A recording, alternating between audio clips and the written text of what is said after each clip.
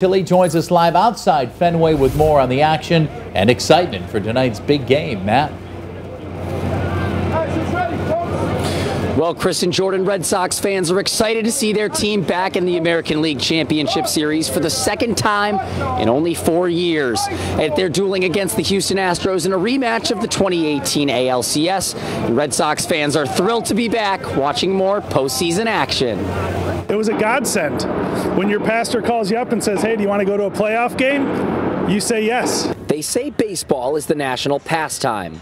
But for Chris Stroka and Corey Demmel, who made the trip from Fort Myers, Florida, up to Boston, it's more like religion. It's unbelievable. I've been to Boston before, been to Fenway, but never been to a playoff game. And I'm a, I'm a huge sports junkie, been a Red Sox fan for about 20 years. And so I am so excited about the energy that I'm anticipating in Fenway. The team's recent success led to one local fan scooping up tickets and being one of the 37,000 fans in attendance at Monday night's Game 3 sellout. The way they won last Sunday, it looked good.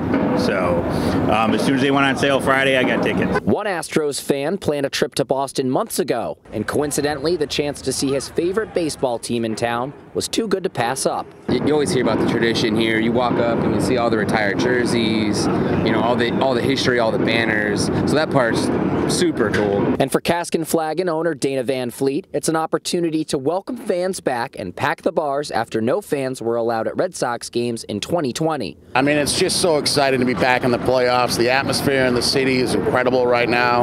Uh, it, it means a lot, you know, with everything that's going on the last couple of years to see the streets busy again, people having a good time and enjoying themselves. It's it's awesome. His staff is preparing to welcome thousands of Red Sox fans with increased hours and a larger staff size.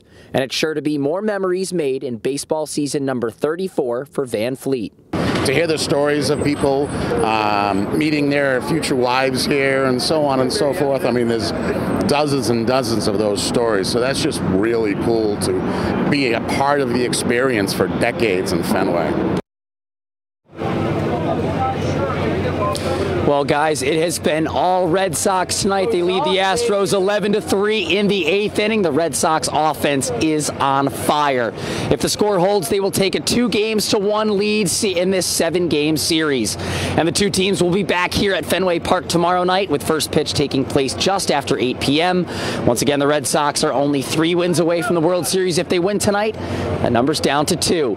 For now, reporting live outside Fenway Park in Boston, Matt Satilli, Western Mass News.